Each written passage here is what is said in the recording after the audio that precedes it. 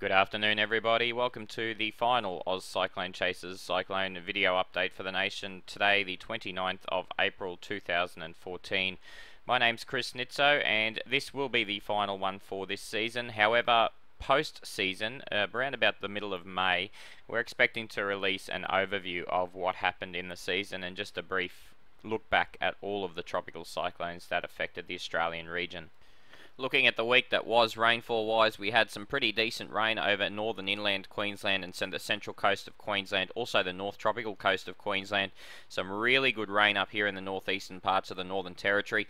Probably not to the extent that some of the model guidance was tipping. We were looking at possibly the chance of 2, 3, even 400 millimetres up in this area, but most of the area got 100 or more millimetres. The reason it wasn't as intense as expected was that that low really washed out into nothing more than much of a trough system. It's now reforming into a bit of a low out here in the Timor Sea. We'll talk about that shortly. The big news, of course, is the very heavy rain, extreme rainfall experienced in Western Australia. And if we zoom into that area a little bit more, you can see this Exmouth region, 2 to 300 millimetres. This region receives 2 to 300 millimetres a year folks, and it's all happened in about two or three days over the past well, over the weekend. Now, the culprit there was ex-tropical cyclone Jack, which was a Category 3 cyclone about 2,000 kilometres, or sorry, 1,500 kilometres off the coast of Exmouth. What happened is Jack died, but the the remnants of Jack pushed a lot of moisture uh, in from the north, in from the tropic, tropics, into a trough system that pushed eastwards. Uh, and that trough system and associated cold front uh, really created havoc in this particular area of Western Australia. So a year's worth of rainfall in about two days interesting system coming through for eastern Australia very shortly, which will create the first sign of a winter or a really strong winter flow uh, into southeast Queensland and New South Wales as a trough system, front system. Uh, they they combine over the weekend and they really create some very cold weather over parts of Queensland. May also create some very intense thunderstorm activity, believe it or not, just before they hit. The sort of storms that you get with these sort of really vigorous cold fronts uh, have the potential to be quite severe with, with some very strong wind shear in those thunderstorms.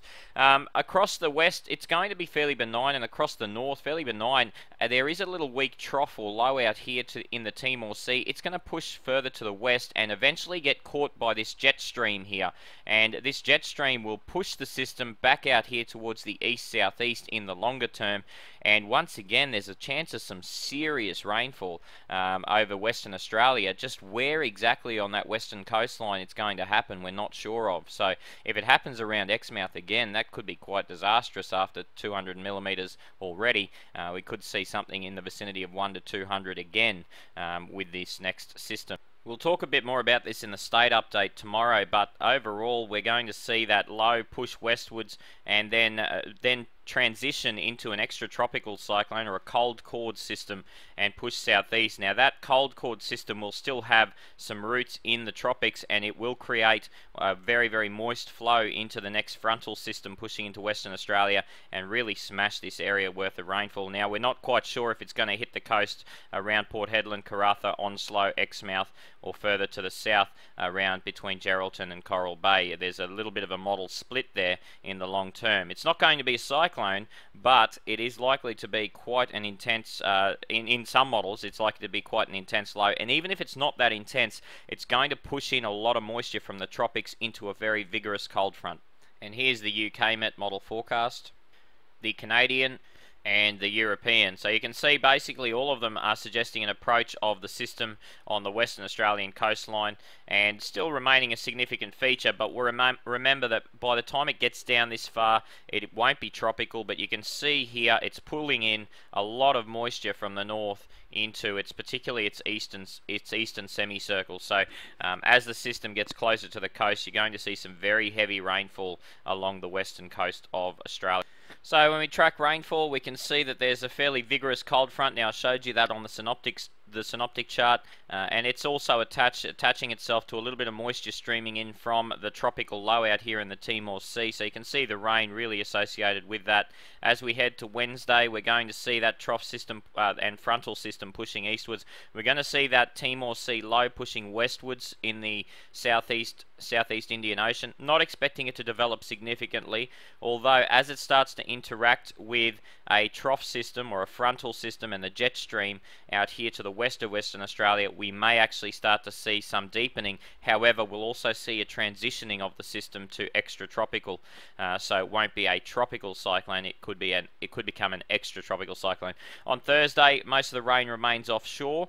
Um, we also see the potential there uh, of some showers and possibly even some storms over the southeast parts of Queensland just ahead of that very cold change on Thursday, Friday, and then by Saturday that cold change will have pushed through. But on Friday, the same sort of thing.